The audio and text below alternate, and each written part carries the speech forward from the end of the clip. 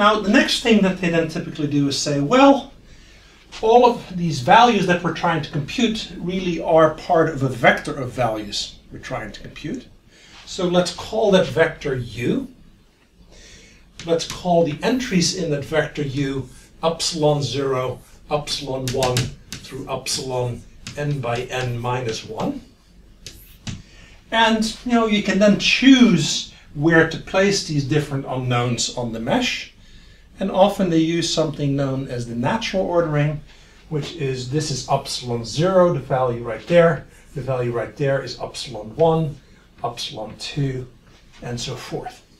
Okay, so if you look at the stencil, if we're looking at upsilon i, then the points around it are to the left is upsilon i minus 1, to the right is upsilon i plus 1 because of the order in which we go, to the south is upsilon i minus capital N and upsilon i plus capital N is to the north. And again, that's known as the five-point stencil. And obviously, this equation has to be adjusted when you're on the boundary because then you know that those points are equal to zero. All right, so once we have renamed things here, we can look at this equation right here and say, oh, this is really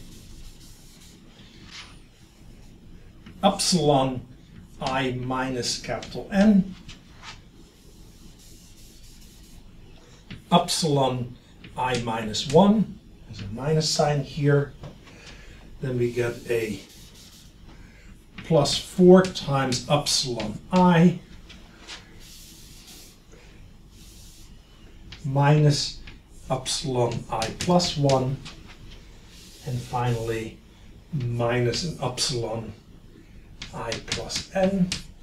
And then this right here becomes a vector as well. Let's call that vector f and let's say that the value at the ij point is given by phi of phi of uh, i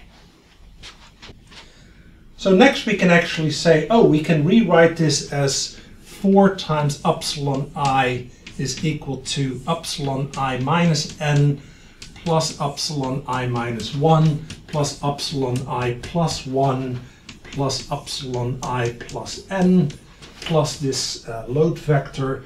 Uh, we'll write it as h squared times phi of i. It's better to have the h squared on the other side. And then we can bring the 4 to the other side and say, hmm, that is just this right here. Okay, and what you notice is that the value at the ith point, if it wasn't for this load vector, is just the average of the points around it. And then there is a modification for the fact that there is some kind of value that's further contributing to it. There's some kind of load at that point.